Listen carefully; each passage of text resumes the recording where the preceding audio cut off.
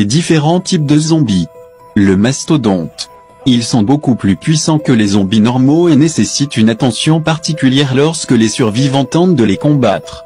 Ils possèdent des attaques puissantes et une grande durabilité, ils sont facilement reconnaissables avec leurs 2 mètres et leur corps large et épais, leur peau grise et leur petite tête.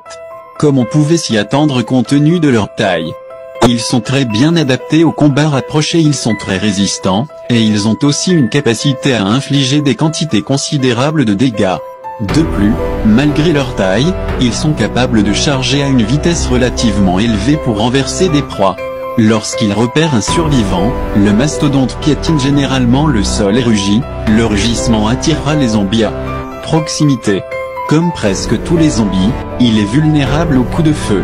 Cependant, seuls les tirs à la tête causeront des dégâts importants il est conseillé d'utiliser des armes lourdes ou des explosifs pour en venir à bout.